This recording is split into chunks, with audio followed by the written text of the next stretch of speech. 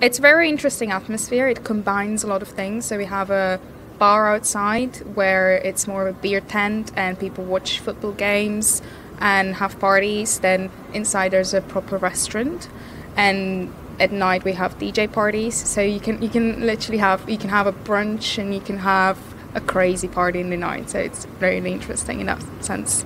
Um, so on a weekend, especially, it's always like very interesting, very hectic. So you can expect it to be loud and to be to have a lot of people from different places, people coming from work, people traveling around the world.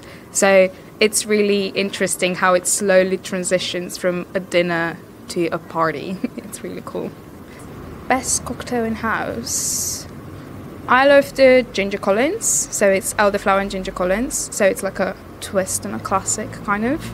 And my personal favorite is uh, espresso martini. Yeah, I ordered a pancake just now. They're delicious. They're also gluten free, which yeah. Um, so they're really cool. They usually come with an ice cream, but I can't, I can't have ice cream, sadly.